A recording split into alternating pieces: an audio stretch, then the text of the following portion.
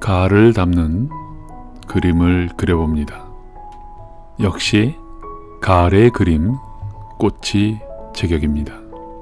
우리의 그림, 붓과 먹으로 한지 위에 그리는 그림, 선을 몇 개 써서 간단히 많은 것들을 표현할 수 있는 우리 그림의 장점. 오늘의 그림도 그 장점을 살려 마음껏 가을을 누려봅니다. 그림을 막 시작하는 모든 화가들, 좋은 그림을 그리기 위해 무엇이 필요하고 어떻게 그릴 것인가? 오늘의 작은 주제로서 그 답을 찾아봅니다. 좋은 구도, composition, 그것들을 갖추면 좋은 그림이 됩니다. 여러 가지 요소들이 있는 composition, 그 구도 내에 콘트라스트, 사물의 대비들을 이용한 그림을 그리면 그 그림 자체가 작품이 되는 것입니다. 사진에서와 같이 꽃들이 배경과 대비되어 아름다움을 뽐내는 그림으로 남겨봅니다. 오늘의 그림 붓과 먹으로 한지 위에 스케치를 합니다. 붓이 가지고 있는 특성 그것을 온전히 이해하면 그림 그리기 너무나 쉬운 것이 우리 그림의 특징입니다. 우리 그림도 서양의 그림과 같이 펜으로 붓으로 스케치를 하는 밑그림을 그립니다. 우리 그림과 서양 그림의 차이라 할 수 있는 것, 그것은 붓을 사용한 우리의 그림. 이미 우리 그림의 스케치는 스케치하는 과정에서 그림이 완성되는 것입니다.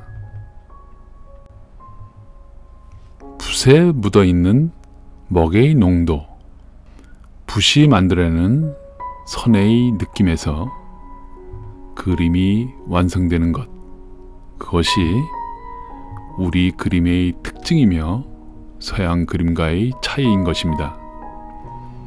즉, 서양 그림은 스케치를 하였던 밑그림에서 색을 더하려는 또 다른 작업을 하는 것.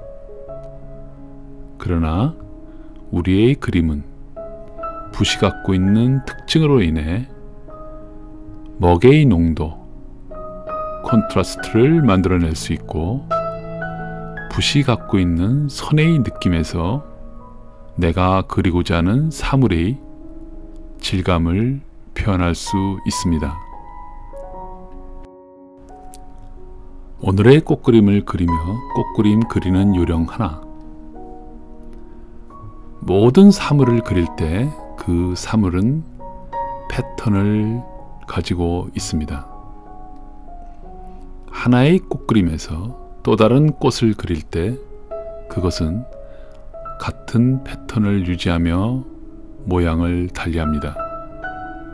그것을 오늘의 그림에 적용하여 패턴을 가지고 집중하여 하나씩 하나씩 채워가면 그것이 나의 그림이 되는 것입니다. 항아리를 그리며 선을 긋습니다. 붓으로 만들어내는 선, 붓이 만들어내는 외곽선은 항아리가 가지고 있는 그 질감을 느끼게 해줍니다.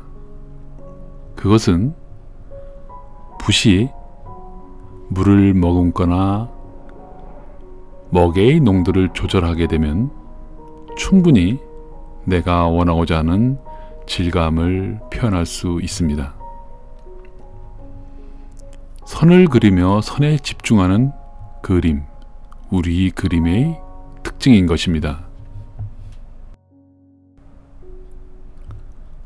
보여지는 영상과 같이 우리의 붓은 몇 개의 점과 선을 통해 모든 사물들을 손쉽게 표현할 수 있습니다.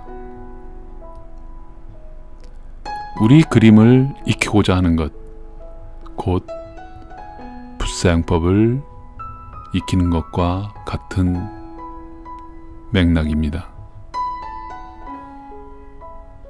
붓사용법을 익히며 여기에 우리 종이의 특징을 온전하게 이해할 경우 아주 손쉽게 서양 그림에서 표현할 수 없는 멋진 질감들을 표현할 수 있습니다. 이 영상 말미에 잠시 한지가 표현할 수 있는 질감 마크 메이킹을 시도하여 보았습니다. 영상으로 경험하시고 여러분의 그림도 이와 같이 다양한 표현을 시도해 보시기 바랍니다. 반복되는 꽃잎 그리기 모든 작업에서 반복됨은 지루함이 아니고 명상의 시간으로 접어드는 것입니다. 어렵지 않게 같은 내용을 반복하며 무아의 지경으로 빠져드는 것입니다.